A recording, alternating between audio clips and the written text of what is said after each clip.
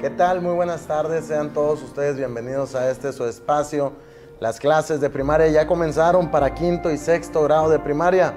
Vamos a dar inicio. Antes de empezar, un saludo a todos los que nos sintonizan a través de las distintas redes sociales como Facebook, Twitter y el YouTube. Y además todos los que nos ven por el canal 28 y nos sintonizan a través de las diferentes estaciones de radio 102.1 Libertad FM y 1510 Opus AM. Un saludo para todos y también en todas las estaciones regionales. Un abrazo virtual hasta allá, hasta sus casas, desde donde nos estén viendo, nos estén escuchando. Estamos listos para empezar, maestro Martín Cázares, maestra Judith Zárate y la maestra Paulina Rubio. Les damos la bienvenida. Vamos a iniciar con las medidas de higiene que hay que recordar siempre. ¿Empezamos, maestra? Claro que sí. Vamos a poner la primera diapositiva que corresponde a las medidas de higiene. Listo. Las hay tres medidas de prevención contra el nuevo coronavirus. Si me las ponen en pantalla, por favor. La número uno es estornudo de etiqueta. Al toser o estornudar, cubre tu boca y nariz con un pañuelo desechable y tíralo a la basura. O utiliza el ángulo interno del brazo, nunca con las manos. Después, lava tus manos con agua y con jabón. Número dos, lavado de manos frecuente. Lava tus manos correctamente con jabón y agua. O bien usa solución a base de alcohol, gel al 70%. Número 3. Resguardo en casa. En caso de tener síntomas de resfriado o gripe, acudir a revisión médica y no automedicarse. Evitar contacto con otras personas, evitar dar besos, saludar de mano. Estas medidas no farmacológicas son las más eficientes para evitar que las enfermedades respiratorias se contagien a otras personas. Acuérdense que es bien importante llevar a cabo estas medidas de prevención contra el COVID-19 para preservar la salud en estos tiempos de contingencia. Maestra Paulina, buenas tardes, ¿cómo está?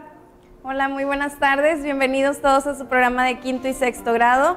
Una vez que, que ya repasamos las medidas de higiene, vamos a ver cuáles fueron las producciones del día de ayer y del día viernes, que ayer no pasamos algunas de las que recibimos, van a aparecer en pantalla algunas de ellas. Si me apoyan, por favor. Muy bien, en estas imágenes se ven la estrella que hicimos en tercera dimensión, el cartel de la buena alimentación, la dieta correcta, la activación física, también vimos el día de ayer en Ciencias Naturales las energías alternativas, las fuentes de energía alternativas, las cuales eran la eólica, la solar, la biomasa, la geotérmica y la mareomotriz. Le damos a la siguiente, por favor. Ese alumno Emiliano Vera anduvo muy participativo, mira. Bien participativo. bastantes actividades, muy bien. Así que seguir, Emiliano. Tiene también en las fotografías el un alumno por ahí que está haciendo la galaxia que realizamos el día jueves, que también le quedó muy bonita, sí le quedó mejor que nosotros. Sí, creo que nosotros hicimos un poquito de desastre, pero a los niños en casita estuvimos viendo las producciones y les han quedado increíbles, de verdad. Y he visto fotitos ahí con los niños de mi grupo, con los niños de otras escuelas y demás. Y una cosa increíble, muy bien niños por esas acciones. Viene también en la, siguiente, en la siguiente diapositiva, vienen más producciones, vienen del tema de ayer, de los conectivos lógicos, los colocaron de manera correcta. Viene también lo que vimos ayer, maestro. Lo de las sucesiones, así es, ahí podemos ver, hasta se empeñaron en dibujar los barquitos, los cuadritos y todo. Eso habla muy bien de ustedes, muy bien de ustedes, perdón, que hacen un excelente trabajo en casa y que están poniendo mucha atención a todo lo que se realiza. Muy bien, Vamos a dar inicio con lo que son los aprendizajes esperados del día de hoy. Mientras los menciona la maestra, se les pide que ya, como ya empezaron las clases, ya ten tu libreta lista. Ten tu libreta de español, de matemáticas ahí lista, ya con la fecha, martes 31 de marzo del 2020, y todavía el valor sigue siendo confianza. Así, que vamos a escuchar los aprendizajes mientras ahí los, los vas apuntando, por favor. Recuerda que puedes usar cualquier libreta, no hay problema si es la de matemáticas, la de español, una hoja en blanco o demás. Los aprendizajes esperados son los siguientes. Organiza un texto por secciones temáticas. Resuelve problemas que implican sumar o restar números fraccionarios con igual o distinto denominador. Identifica la relación entre la masa y el volumen de objetos de diferentes materiales. Esos son los aprendizajes esperados que vamos a estar abordando este día, para que estés muy listo y hagas un, un pequeño recuento para que recuerdes lo que ya has visto en tu salón de clases. Además, se me pasaba comentarles a todos ustedes que de igual manera como lo hemos estado realizando en las secciones pasadas, vamos a tener nuevamente una interacción en vivo con todos ustedes. Así que espero estén muy atentos a todas las clases y además no entren en desesperación. Si no alcanzaste a participar, te sacó la aplicación o lo que sea, no pasa nada. El chiste, la idea, mejor dicho, es aprender. Aprenderte lo que estamos viendo. Ya el participar es algo extra, es algo que estamos haciendo porque nosotros pues no somos conductores profesionales de televisión, somos maestros y queremos interactuar con nuestros alumnos y buscamos esa cierta manera de interactuar con la cantidad que se pueda. Así que vamos a dar inicio con lo que es español, maestra. En español vamos a ver una temática muy padre esta vez. Es organizar un texto por secciones temáticas. En esta ocasión este, voy a pedirle el apoyo a la maestra Paulina, nada más. Es para que nos pasen la diapositiva que ya aparece en pantalla. Ahí tenemos el aprendizaje esperado que vamos a estar abordando y comenzamos. Muy bien, este aprendizaje se toma del grado de sexto, perdón, de sexto grado en la práctica social del lenguaje en la que elaboran un álbum de recuerdos de la primaria. O sea, es el último proyecto que se realiza en el trimestre en el ciclo de sexto grado, en el cual se trata de, que recopilen todos los momentos que vivieron durante la primaria, en el cual ahorita nosotros vamos a ver cómo organizar este álbum, qué secciones son las que vamos a, a incluir para que después, ya que regresemos después de esta contingencia, podamos elaborar este álbum. Entonces vamos a empezar con la primera actividad que dice planificación de un álbum de recuerdos de primaria para que tenga diversas secciones. Muy bien, el segundo paso, ¿cuál sería, maestro? El siguiente paso es el número dos, lista con el nombre de las personas y los, o los sucesos que se integrarán según la sección. El número tres es la recopilación de evidencias sobre los personajes y sucesos para incluir en el álbum. El cuarto punto son los borradores de las secciones integrando el material gráfico y, y las correcciones sugeridas. Muy Entonces, ustedes vayan más o menos pensando cuáles serían las secciones que van a incluir en su álbum de recuerdos. Que si te acuerdas de los festivales que tuviste en los que participaste en primer grado, en segundo grado, en tercero, en cuarto, en quinto y en sexto recientemente, lo que sean las festividades, festivales del Día del Niño, las posadas que realizan en algunas escuelas, o alguna manualidad o una actividad que te haya marcado según el grado en el que estuviste, que tú recuerdes, o los mejores amigos que tuviste en primero o en segundo. A lo mejor no muchos se acuerdan de esto, pero se trata de que trates de recordar, que le digas a tu mamá o a tu papá si tienen algunas fotografías, si tienes algún, algún objeto o algo que tú puedas plasmar en este álbum de recuerdos. Vamos a pasar ahora sí a las secciones que van a incluir este álbum de recuerdos. Y recuerden que el álbum no nada más es para los niños de sexto, también los niños de quinto pueden realizarlo. ¿Por qué? Porque ustedes ya también tienen un largo recorrido por la primaria, entonces hay muchos recuerdos que pueden plasmar ahí, a lo mejor este, recordar maestros, amigos, cosas que realizaron durante su estancia en la escuela y que ustedes eh, pues las consideran muy importantes, ¿verdad? Vamos a pasar a la diapositiva para conocer cómo podemos ir poco a poquito armando este álbum, ¿ok? Nos vamos a la diapositiva y aquí les traemos un breve ejemplo de cómo podemos organizar un texto por secciones temáticas. Quiero que lo observen, observen muy bien, porque aquí nos vamos a dar una idea de qué es lo que ustedes pueden anexar y tener. Eh, Primero viene una introducción, cronograma, anécdotas, mejores experiencias, puedes poner a tus maestros, alguna conclusión de si te gustó estar en la primaria, si no te gustó, qué fue lo bueno, qué fue lo malo.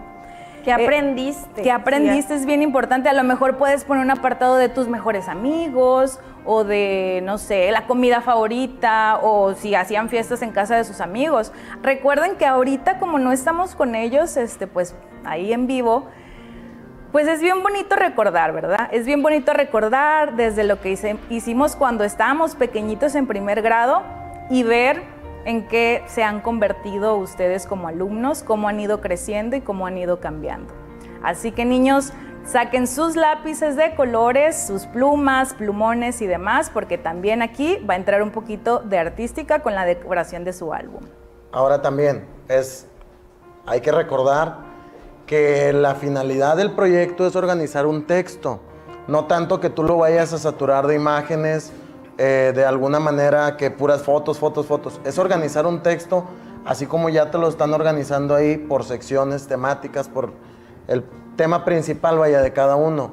Dentro de la introducción, pues podrías hablar acerca de cómo, te la, cómo lo viviste en la primaria, en lo que son anécdotas, anécdotas Divertidas, personales, divertidas, tristes. cuando aprendiste a sumar, cuando aprendiste a restar. Cuando dividir, aprendieron a leer cuando también. aprendieron a leer, que unos a- llore y llore y llore, Sí. pero aprendieron a leer. Pero aprendieron y la maestra regaña y regaña y regaña. Mejores ¿verdad? experiencias, tus maestros, si estás en quinto, pues, has tenido a lo mejor cinco maestros diferentes o a lo mejor algunos se han repetido.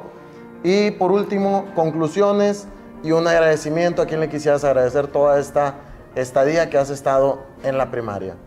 No tenemos nada pendiente ahí, ¿verdad? No. Muy bien, entonces espero lo hayas apuntado. Si se te pasa algo, acuérdate, no te preocupes, no pasa nada.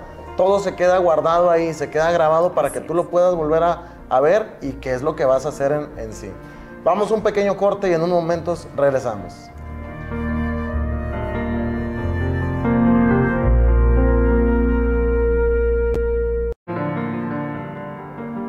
Muy bien, estamos de vuelta aquí a Escuela TV para quinto y sexto grado de primaria. Como ya se les comentó, no debes de, pues, privarte de que, por ejemplo lo del álbum de ahorita que digas, es para sexto, también los de quinto lo pueden hacer. Y al igual, este ejercicio que vamos a hacer en estos momentos, quinto y sexto es para los dos grados. Así que espero ya estés muy atento ahí con tu libreta de matemáticas y estés listo para empezar. Vamos a empezar con el aprendizaje esperado, maestra. Claro que sí, vamos a empezar con la materia de matemáticas. Ahorita vimos un poquito de español, este, con lo del álbum que se va a quedar pendiente. Y ahora nos pasamos a matemáticas con el aprendizaje esperado. Si me lo pueden poner en pantalla, por favor, es el siguiente. Resuelve problemas, ay, es algo que les gusta mucho. Resuelve problemas que implican sumar o restar números fraccionarios con igual o distinto denominador. Maestro, ¿sí o no que esta, este tema les gusta mucho a los niños? Les gusta bastante a algunos y a otros un poquito menos, pero como siempre les digo, no es nada de qué asustarse los números de fracciones, es algo bien sencillo. Y para eso vamos a realizar unos ejercicios y vamos también a dejar ahí algunos para que ustedes los puedan realizar. Sencillitos y no tienen ninguna otra complejidad. Vámonos a la siguiente. Antes de empezar, tenemos que conocer lo que es una fracción. ¿Qué es una fracción? Aquí lo podemos ver en partes, las partes de una fracción. La parte de arriba se le llama numerador y la parte de abajo se le llama denominador. El numerador dice cuántas veces está partida la, la fracción y el denominador indica cuántas veces se dividió la misma fracción.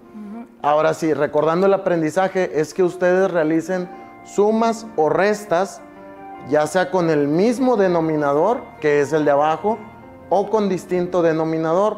Para ello vamos a empezar con una bien sencilla, que yo estoy seguro que todos ya se la saben, y si no, pues vamos a realizarla aquí, maestra. Claro que sí. Tenemos aquí las fracciones 2 sextos más 3 sextos. Lo primero que tenemos que ver aquí en las fracciones es checar si es denominador igual o diferente. En este caso tenemos denominadores iguales. Recuerden, el número de abajo se llama denominador y el de arriba numerador, ¿ok? La parte de abajo nos dice en cuántas partes vamos a dividir nuestra figura y la parte de arriba quiere decir cuántas partes de la figura vamos a utilizar, ¿sí? Para que les quede más claro y que no se me confundan. Ok, tenemos igual denominador, entonces vamos a hacer una suma directa en la parte de arriba. 2 más 3. A ver, público acá. 5. 5, muy bien. Y abajo, uy, la reglita dice que si tenemos un mismo denominador, quiere decir que van a pasar directamente igualito. No lo vamos a sumar, no lo vamos a multiplicar, van a pasar igual. Entonces nuestro resultado sería cuánto? 5 sextos, ¿ok? De, si tenemos una pizza a lo mejor de 6 pedazos y yo les digo, tengo 5 sextos, me comí 5 sextos de la pizza. Ah, bueno, quiere decir que tenía 6 pedazos de mi pizza y me he comido 5, ¿ok? Eso es más o menos para que lo vayan este, pues entendiendo, desmenuzando y que puedan entenderlo y sea más fácil para ustedes, ¿ok? Muy Ahora bien. el siguiente. Ahora vamos a pasar a el- las sumas y restas, ahora con distinto denominador. ¿De acuerdo? Aquí es donde sí les voy a pedir que pongan bastante atención. Vamos a, proye- a proyectarlo en pantalla, por favor. Y vamos a poner bastante atención porque es un paso muy sencillo, pero que si no pones atención, se te va a ir. Primero, antes de empezar cualquier operación, tú debes de identificar qué es la operación. Si es una suma o es una resta. Aquí tenemos que es una resta. ¿De acuerdo? Y luego, ya que lo realizamos, ahora sí, vamos a hacer el método más popular en todo México, yo creo que en todo el mundo, que sería el método de la mariposa. Estos dos y estos dos los vas a multiplicar entre sí por ser números fraccionarios. 5 por 1, 5. ¡Ay, qué apagados! No, hombre, no comieron No, frijoles. hombre, no comieron, Y se me hace. 6 por 2, 12. 12. Coscorrón el que se equivoque. Y luego ya después, los de abajo, los vas a multiplicar entre sí. 6 por 5, 30. ¿De acuerdo? Al tener estos números aquí, se realiza una resta. Pero no se puede realizar una resta así. Por eso tú los vas a acomodar acá de este lado en una misma fracción. 12 menos 5 nos va a dar a 7. Y el 30 se va a pasar exactamente igual. ¿De acuerdo? Eso es en el, en el caso de una resta. Ahora, vamos a ver ahí igual el caso de una resta, pero ya un poquito más eh, elaborada, maestra. Claro que sí, mira, ahí tenemos ya la mariposita dibujada. Hasta con las antenitas. Hasta y con todo, las ¿ah? antenitas y todo. Entonces, lo que nos faltaría aquí nada más es el, nada más que los resultados de estos maestros están movidos, ¿no? No, están bien, están bien. 7 por 2. Ah, ya, 7 por 2, 14, 3 por 5, 15 y nos falta encontrar el denominador en común. Si me lo ponen en la pantalla, ya está. 7 por 5, ¿cuánto es por allá? 35. 35, muy bien. Entonces, ¿qué vamos a hacer? Tenemos que fijarnos muy bien que esta es una resta, ¿ok? Una resta. Entonces, 15 menos 14, ustedes ya saben la respuesta de seguro, ¿verdad? Tenemos ahí 1, 1 y abajo sería Se pasa se pasa exactamente, exactamente igual. igual y es un 35. Muy bien. Acuérdense, este método se le denomina el método mariposa justamente porque al resolverlo estamos viendo acá que formamos una mariposita. Acá están las antenitas y todo tiene, ¿verdad? Pero es un método cruzado que les facilita muchísimo encontrar la respuesta y ahorrarse tiempo para contestar correctamente las actividades de fracción. Vamos con la siguiente. Ahora sí, espero que lo hayan anotado por ahí. Muy bien, ahora sí vámonos a los ejercicios que van a realizar ustedes en casita y ahí nos manden las producciones. Se les recuerda estarnos mandando diariamente todas las producciones que hagan. Y así como al alumno Emiliano Vera, si quieren ponerle su nombre, y ahí lo podemos este, ir checando si está correcto. Y si mandas una operación y está incorrecta, no pasa nada. De eso se trata esto, de poder equivocarte y poder corregirlo aquí en el programa, por si no te quedó algo claro. Realízalo, cópialo en la libreta de matemáticas, por favor. Y acuérdate, como te digo, enviar a la página del Canal 28 Nuevo León tus producciones y de igual manera a la Secretaría de Educación de Nuevo León. Y ahí se están publicando diariamente todos los trabajos que envíes. Ahí se han estado publicando en la página de la Secretaría de la Educación de Nuevo León. Así es, niños, y recuerden que es bien importante que lleven a cabo las actividades porque todo esto les sirve de repaso y las fracciones es un tema que muchas veces, eh, pues, es muy difícil de entender o les parece bastante complicado, entonces es algo que ustedes deben de realizar para que ya no batallen en años futuros, ya sea si están en quinto o sexto, para que no batallen en la secundaria, que se les facilite o que este, pues tengan más agilidad al momento de contestar todas las actividades de matemáticas, porque no solo lo vamos así lo vamos a ver, perdón, como operación básica, también luego lo vamos a ver con problemas razonados y ahí la complejidad sube un poquito o un muchito más. Entonces, tienen que estar bien, bien preparados y también hizo falta algo, maestro, porque hay veces que las tablas de multiplicar se nos olvidan y es bien importante que también hay que estudiarle, hay que reforzar las tablas porque aquí las utilizamos también, como ya pudieron ver. Muy bien. Vámonos a ir, vamos a ir, perdón, a un pequeño corte, no sin antes dejarles lo que todos han estado esperando. Espero lo hayan alcanzado a copiar y si no, de todos modos, como les digo, se queda grabado ahí en las redes sociales de YouTube, Facebook, para que usted lo pueda tómele una fotito ahí para que usted lo pueda copiar. Y si ya alcanzó a copiarlo, pues qué bueno. Vámonos a lo que más han querido todos, lo más deseado, ¿verdad? Claro que en todas estas dos semanas. Lo más esperado. De, programa, el acertijo del día. Ponga mucha atención al el acertijo del día. Escúchelo bien. A ver. Vamos a iniciar. El arpa tiene cuatro. El violín tiene seis. La guitarra tiene 8. ¿De qué estamos hablando? Lo vuelvo a repetir para todos los que no lo escucharon o los que nos escuchan en las distintas estaciones de radio.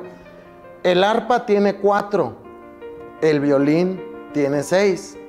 La guitarra tiene 8. ¿De qué estamos hablando? Muy bien. Mándenos sus respuestas, por favor. Ahí, mediante la transmisión o algo. Usted escríbala. No le vamos a decir la respuesta hasta el final. Así que usted escríbala no pasa nada. Vamos a decirlo nuevamente, por si se les pasó o van manejando algo, para que lo escuchen bien. El arpa tiene cuatro, el violín tiene seis, la guitarra tiene ocho. ¿De qué estamos hablando? Muy bien. Está bastante difícil esta vez, ¿eh? Está pues vamos a ver, yo sé que todos son bien listos. Vayan escribiendo las respuestas. Ahí vamos a ir viendo quién sí la tiene correcta y quién la tiene de manera equivocada.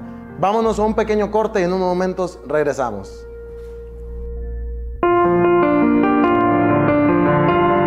Escuela Muy bien, estamos de vuelta con todos ustedes. Ahora para realizar, bueno, primero que nada ver las definiciones de varios conceptos y hacer una prueba aquí, un tipo de experimento acerca del aprendizaje de naturales.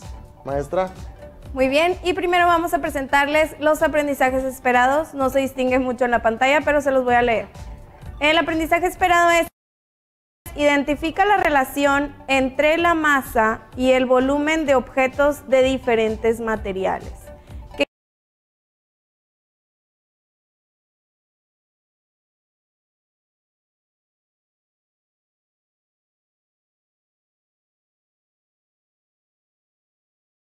¿Qué quiere decir esto? Que primero vamos a explicar lo que es la masa y lo que es el volumen y cuál es la relación entre cada uno de estos, según las propiedades que tiene cada material. Como lo ves aquí en la imagen, la masa se mide con la báscula, con una báscula. Y el volumen con el espacio que ocupa un objeto. Vamos a pasar ahora sí a las definiciones. De cada uno de ellos. Muy bien, maestro, ¿me ayuda con la masa, por favor? Claro que sí. Ahí para que lo estén apuntando y lo tengan presente. La masa es la cantidad de materia contenida en un cuerpo. Púntalo bien. Es la cantidad de materia contenida en un cuerpo. Dentro del sistema internacional, su unidad es el kilogramo con su abreviación KG. Dentro del sistema internacional, su unidad con la cual se mide la masa es el kilogramo. Y ahí, como dijo la maestra, ahí está la báscula con la cual se mide la masa de un objeto. Muy bien. Y a continuación vamos a ver la definición del volumen. El volumen corresponde a la medida del espacio que ocupa un cuerpo. Es el espacio que ocupa un cuerpo. Anótalo por favor. Y la unidad de medida para medir el volumen es el metro cúbico. Sin embargo, generalmente se utiliza el litro. El litro también se utiliza para medir el volumen de un cuerpo, o sea, el espacio que ocupa un cuerpo. Y ahora vamos a pasar a la actividad con algunos materiales aquí que tenemos en, en nuestro escritorio. Muy bien, vamos a dar inicio lo que son estos materiales que elegimos por aquí, pues los podemos ver aquí, vienen siendo uvas, arroz, unos coditos, agua y algodón. Ahí lo podemos observar. Coditos, arroz y uvas. Muy bien. Como base estamos utilizando un vaso para cada material. Entonces, ¿Qué quiere decir esto? Que es el mismo volumen, el mismo espacio, en el mismo espacio de un vasito, pero son diferentes materiales. Como ya lo mencionó el maestro, en un vasito tenemos uvas, en un vasito arroz, en otro vasito tenemos coditos, en otro vasito tenemos algodón y en el último tenemos agua. Entonces aquí ya estamos midiendo el volumen según la capacidad que tiene el, cada vasito. Vamos a tomar como unidad el vaso del volumen. Y ahora vamos a medir la masa de cada uno de estos materiales. ¿Cómo vamos a medir la masa? Con una báscula, ¿sí? Aquí en pantalla tenemos una báscula. Si no se logra ver bien el número, te lo vamos a decir para saber cuánto es lo que pesa cada material. Y vamos a comenzar con el primero. Antes de iniciar, tú ve anotando a manera de lista los materiales y cuánto pesa cada uno. Te recordamos, el volumen es el espacio que ocupa tratamos aquí de que todo ocupara el mismo volumen para que vieras la diferencia entre el, espacio que ocupa en el, aquí con nosotros y el peso que puede llegar a tener cada uno de los materiales. Espero lo hayas apuntado cada uno de los materiales. Vamos a empezar con el primero. Ahí hagan sus apuestas en casita. ¿Cuál creen que sea el más pesado? El que tenga una mayor masa Ahí podemos ver el primero, no se alcanza a distinguir muy bien ahí en pantalla, pero de igual manera se les paso el dato. Los coditos tienen un peso de 73 gramos. Gramos. 73 gramos. Seguimos con el siguiente. Las uvas, aquí podemos ver las uvas, que ya me las quiero comer, tienen un peso total de 91 gramos ahí subió y eso que abarca, perdón, el mismo espacio de los... Ahí no se puede alcanzar a distinguir. Se alcanza a ver. Pero no pasa nada. Aquí les estoy pasando el dato. No, no pasa absolutamente nada. 91 gramos pesan las uvas. Vámonos con el siguiente material, que es el algodón. Mira, el algodón. Vamos a ver cuánto pesa el algodón. Completamente lleno el vaso hasta arriba.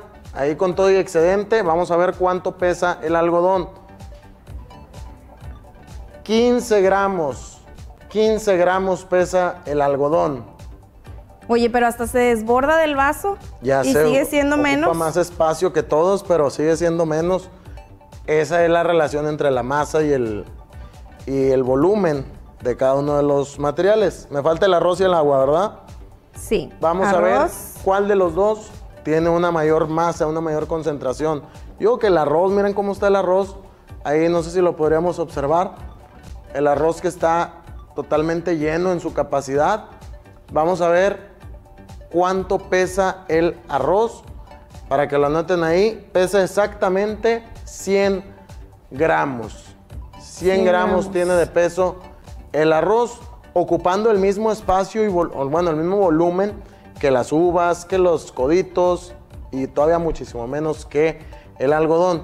Y por último el agua. Vamos a ver el agua si tiene una mayor densidad o una menor densidad. El agua tiene un peso total de 124 gramos. 124 gramos que pesa el agua. Así que, ¿cuál pesó más? ¿Cuál pesó menos? ¿Cuál vino pesando más, maestra? El que pesó más fue el agua, que pesó 124 gramos. Espero que lo hayan anotado. Fíjese, el agua y ocupa el mismo espacio. El mismo espacio. Que el arroz, el mismo espacio inclusive que, que los coditos. Entonces, si los podríamos acomodar, el que pesó más viene siendo el agua. Después, sí, el arroz. El arroz. Después las uvas. Las uvas pesaron más que la sopita. Ay, que se me caen las uvas. Después sigue la sopita. La sopita, los coditos. Y por último, el algodón. El algodón. Y como se dan cuenta aquí en pantalla, se puede ver en, el vaso que el algodón se está desbordando del vaso. ¿Qué quiere decir esto? Que ocupa más espacio, o sea, más volumen. Esa es la relación que tiene la masa y el volumen. Son cosas completamente diferentes. Si alguien te dice es que pesa lo mismo, es lo mismo que el volumen, no es cierto, tú le vas a decir por qué son diferentes. La masa es cuánto pesa o qué cantidad hay de ese material y el volumen es el espacio que ocupa ese material. Son cosas completamente diferentes. Muy bien. Espero ahí lo hayan apuntado los pesos, también las definiciones de cada uno de los conceptos que vimos de masa y volumen.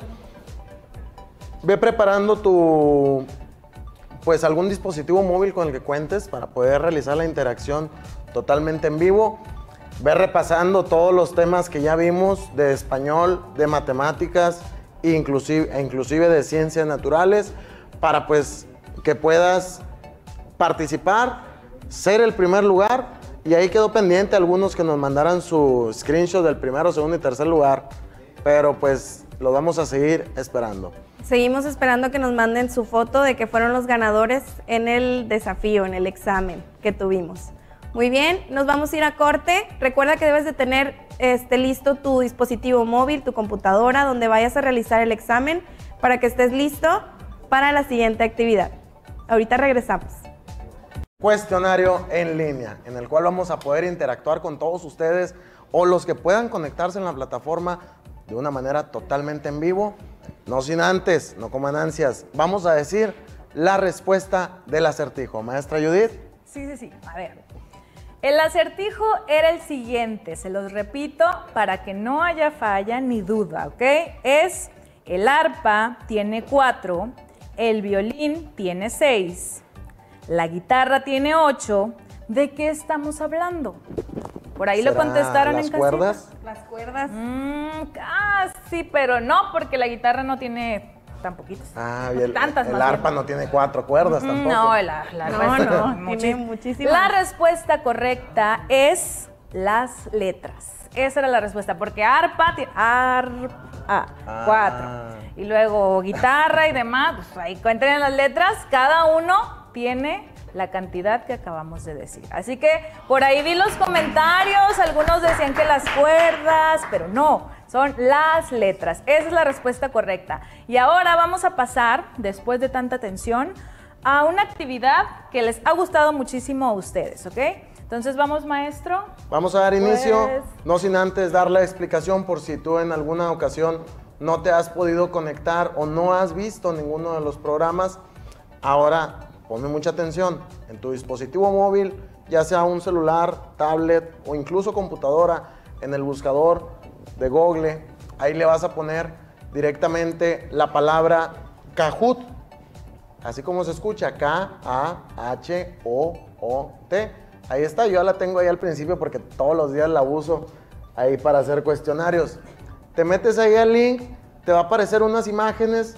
Al primer link que te aparezca, vas a entrar y ya que entres entre el cuadrito verde y el cuadrito azul, hay una palabra que dice play. Ahí vas a ingresar y vas a ingresar un código, el cual ahorita te lo voy a entregar. Ah.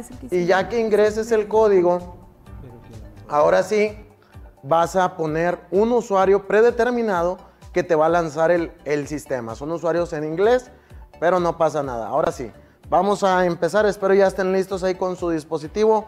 Vamos a pasar el código en pantalla para que empiecen a conectarse y ver quién es primero, segundo, tercero, cuarto y quinto lugar. Porque hasta eso nos da Son súper la plataforma. jugando. Vamos a poner el, el código en pantalla, por favor. Y si se puede, por favor, el audio de la aplicación. Muy bien. Se les recuerda a todos ustedes, si no logras entrar, no pasa nada. Copia las preguntas en tu libreta y ahí mismo contéstalas. ¿De acuerdo? Y ya que las hayas contestado, pues ahí nos mandas fotito de la evidencia. Empiezan a conectarse de igual manera siempre tan puntuales, tan puntuales como siempre.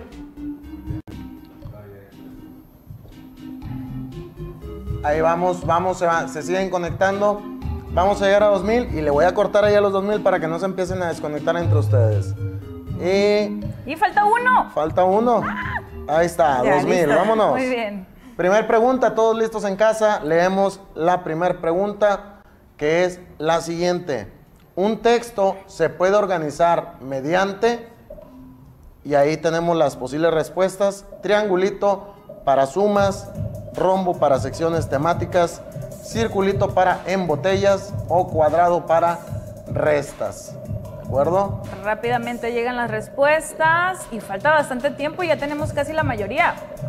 9, 8, 7, 6, 5, 4, 3, 2, 1. Y listo, ahí está. Se termina el tiempo, la mayoría Ah, muy acertó. bien. 1800. ¡Ay! Muy bien. Muy bien. Ahí vamos a ver quién se coloca en primer lugar. Yellow's Caracol amarillo. Caracol amarillo viene Sí, siendo. ¿ah? claro que sí. Muy bien, vamos con la que sigue, maestra Judith. La siguiente, ¿cuál es el resultado de 3 cuartos más un cuarto? Rojo, 4 cuartos. Rombo, 4 octavos. Círculo, 4 dieciséisavos. Cuadrado, 8 dieciséisavos. ¿Cuál es la respuesta correcta, niños? El resultado de 3 cuartos más un cuarto. Muy Oye, bien. si pusieron atención, Sí, están Sí, yo creo bien rápido. O sea, Acuérdense que son denominadores iguales. Más rápido que una calculadora están contestando ellos. A ver, llamero, 2, 1, 0.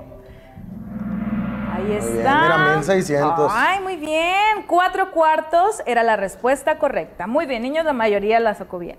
Vámonos con la que sigue, maestra Paulina, me ayuda a leerla, por favor, no sin Ay, antes ver. vamos a ver quién Ahí es el el- caracol amarillo Oh, sigue. Sigue. Oye, sigue mira. en primer lugar y todos los demás se movieron del lugar. Vámonos, la que sigue, maestra Paulina, por favor. muy bien. La siguiente pregunta es, ¿cuál es el resultado de un medio más un cuarto? Mucha atención ahí porque esa va. Trianguli- triangulito para tres cuartos, rombo para dos sextos, círculo un octavo y cuadrado seis octavos.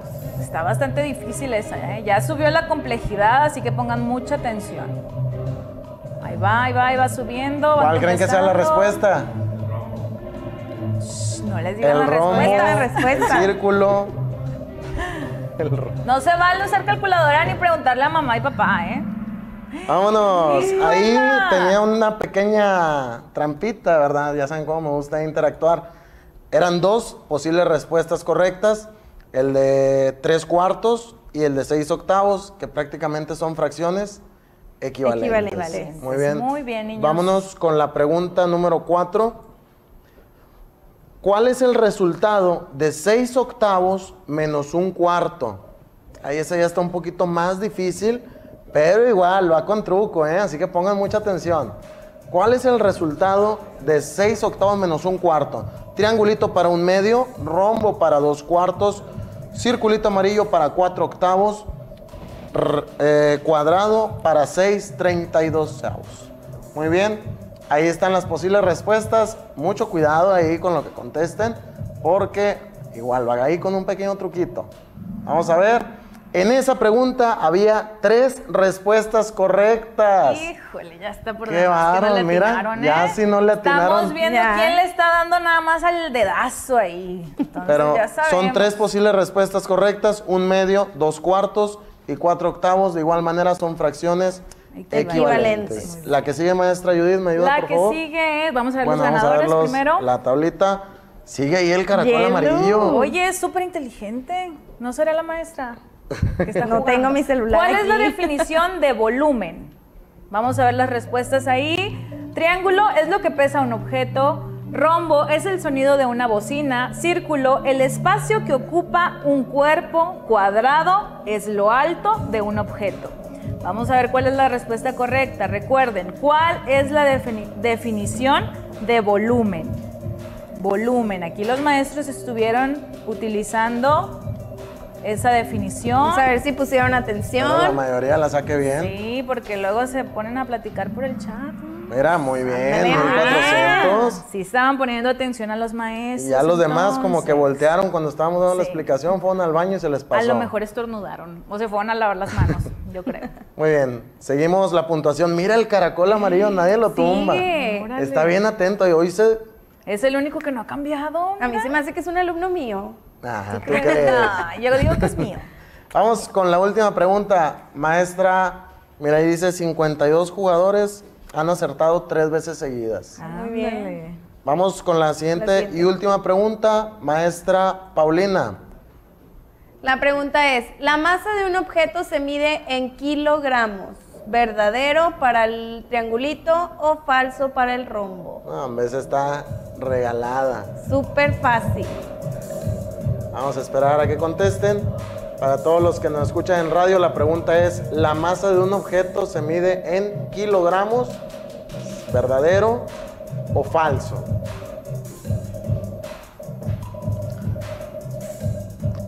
A todos atinar la respuesta correcta, señalarlo ahí en su celular. 1600 acertaron, los otros 242 andan en la luna, en Júpiter, no sé.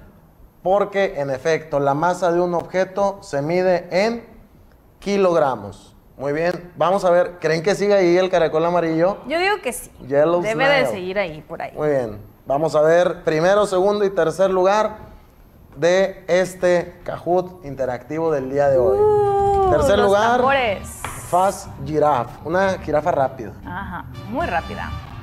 Eager Fox, segundo lugar. Y el Y el primero primer- es para. ¡Tum! El Yellow caracol. Muy bien, niños.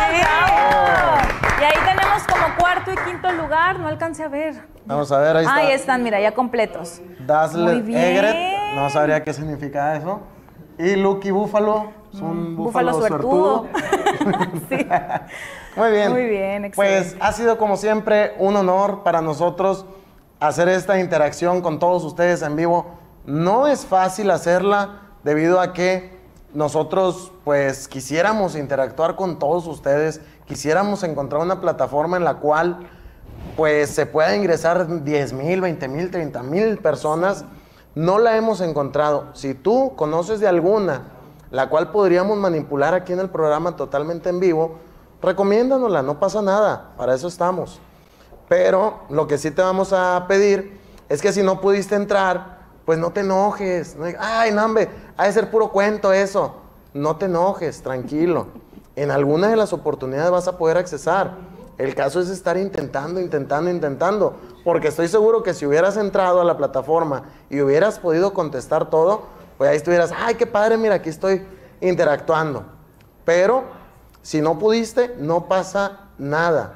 La idea no es la competencia, la idea es que se te quede algo de lo que estamos viendo, que te acuerdes de los conceptos, porque yo sé que de los 1600 niños que contestaron las preguntas, pues ahí se les va a quedar y van a tenerlo presente siempre de que, ah, yo acerté en esta pregunta y a lo mejor cuando regresemos a clases va a venir esa pregunta en tu examen y vas a decir, esa pregunta yo la vi en el Kahoot que hicimos en Escuela TV con los maestros de quinto y sexto. ¿Verdad que sí, maestra? Así es. Y pues acuérdense que si se equivocan no hay problema, se puede corregir después.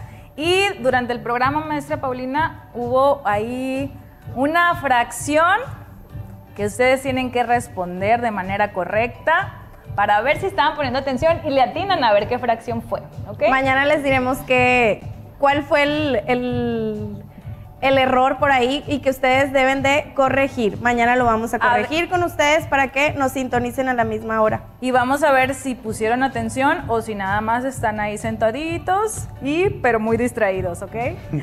Así que se les pide a todos que pongan mucha atención a las, a las siguientes clases. Son las últimas clases que vamos a estar en esta semana con ustedes. Así que vamos a seguirle echando ganas, vamos a seguir poniendo atención y mientras ustedes lo permitan, seguiremos llegando hasta sus hogares con esta interacción totalmente en vivo, como lo es esta aplicación de Kahoot. Muchas gracias por habernos sintonizado. Nos vemos el día de mañana a la misma hora en el mismo canal. Hasta luego. Hasta luego, niños.